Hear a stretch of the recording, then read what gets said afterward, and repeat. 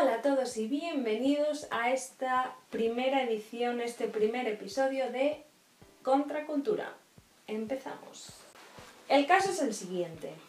Desde que hace unos años decidí entregar mi vida a Jesús y seguir sus pasos, es decir, desde que me hice cristiana, cristiana convencida, una de las cosas con las que más me he encontrado cada vez que hablo con alguien de, cristianismo en general, es que hay un cacao montado que no se aclara a nadie. Yo he tenido que descubrir un montón acerca de esto porque antes realmente de, de, saber qué decía una Biblia, no tenía absolutamente ni idea.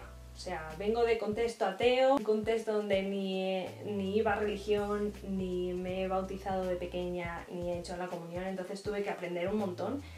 Una de las cosas que más veo que suceden con todo este tema, sobre todo aquí en nuestro país, en España, es que eh, hay una mezcla de mm, tradición, una mezcla de superstición, y una mezcla de, años y años y años de, engaño realmente acerca de lo que, lo que predicaba Jesús, impresionante.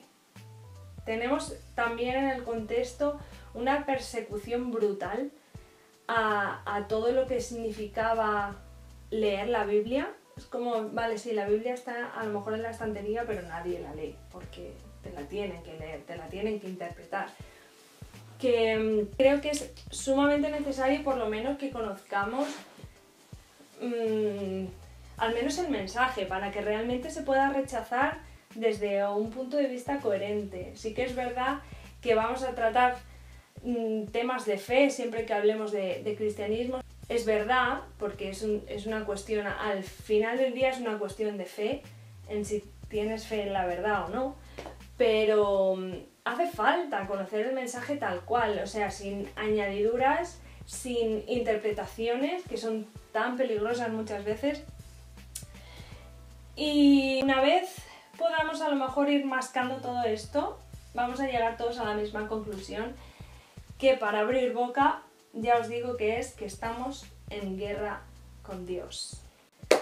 Todos y cada uno de nosotros estamos en guerra con Dios. No tienes que haber sido un asesino en serie o no tienes que haber sido un maltratador o no tienes que ser un mentiroso compulsivo. Pero todos en nuestra condición humana estamos en guerra con Dios, o sea, nuestros principios nunca van a ser sus principios. Y básicamente lo que viene Jesús a hacer, cada una de las, de las cosas que él predicaba era un camino, nos daba como un camino nos daba una manera de realmente reconciliarnos con Dios.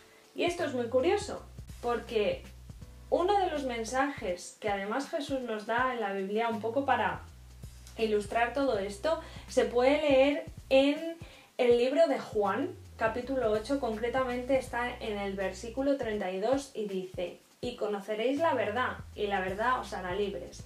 Y esto está dicho en un contexto donde Jesús estaba hablando con un montón de judíos que habían creído en él. Y les está hablando de que si vosotros guardáis mis mandamientos, van a saber que sois discípulos míos y conoceréis la verdad y la verdad os hará libres. Y claro, estos se quedan súper pillados, pero ¿cómo, ¿Cómo que libres? Si somos judíos, no somos esclavos de nadie. Pero sin embargo Jesús se lo estaba diciendo. ¿Estaba Jesús mintiendo?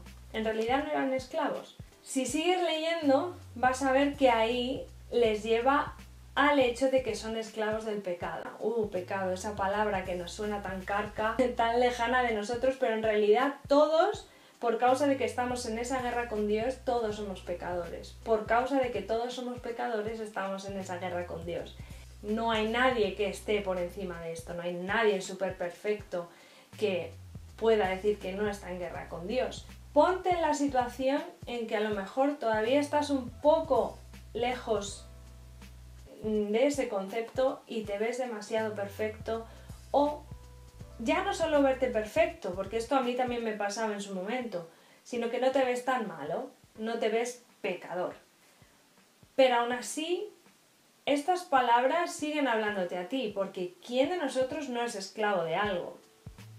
Todos somos esclavos de una imagen, o de un sueño, o de alguna meta que todavía no hemos cumplido.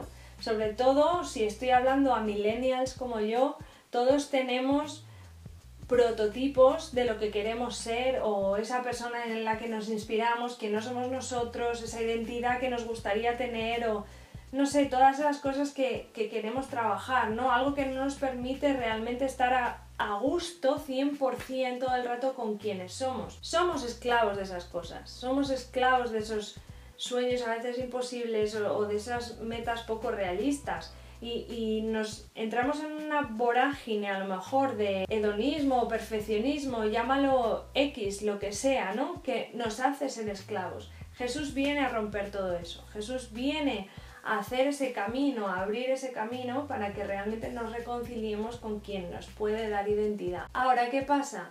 Que muchas veces escuchar esa verdad molesta, escuchar esa verdad incomoda. Muchas veces que te digan que la manera en la que haces las cosas no está bien, es como que eso que, tenemos ahí tan, tan asentado en, en el trono de nuestro corazón, que es nuestro ego, nuestro orgullo, se duele, ¿no? No mola nada que te digan que las cosas las haces mal y que hay una manera mejor de hacerlas. Lo que sé es que si eres tú el que estás buscando algo y no sabes qué es, sabes que tienes que tener un propósito pero todavía no has dado con él, que no terminas de estar 100% a gusto porque estás todo el rato intentando buscar qué es lo que mejor te funciona. Yo he estado en esa lucha eh, sé perfectamente lo que se siente y puedo decir también que estas palabras de Jesús son verdad. Una vez que tú das paso y dices, vale, no tengo todas las respuestas, quizá Jesús sabía muy bien de lo que estaba hablando y le das esa oportunidad a conocer esa verdad, realmente te hace libre, te hace libre de un montón de cosas hacerte libre que es, hay tantísimas cosas que realmente nos dice la religión, pero que no nos decía Jesús, que mm, creo que merece la pena darle una oportunidad a conocer todo ese mensaje.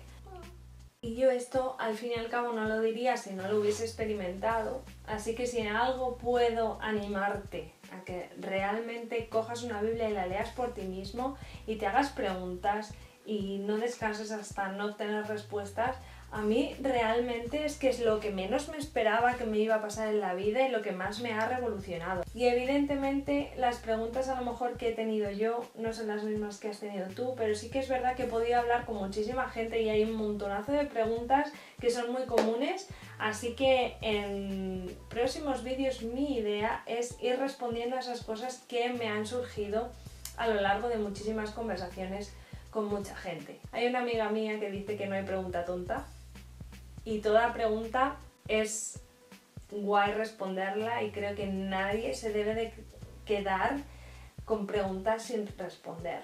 Hay muchísimas cosas que nos duelen, hay muchísimas cosas por las que culpamos a Dios, hay, no sé, como que cada uno tenemos encasillado a Dios en, en, algunas cosas, para algunos de, de, vosotros Dios no será nadie y, y todo eso tiene su porqué. Entonces, mi ánimo con todo esto va a ser responder a muchas de esas dudas que por supuestísimo estoy abierta a escuchar nuevas opiniones y nuevas preguntas y nuevas dudas y lo que sea.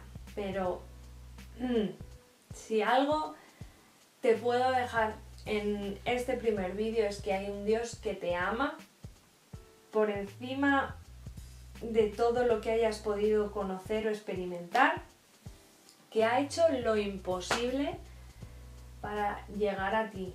Coge una Biblia, de verdad, quítate prejuicios de encima y lee, lee.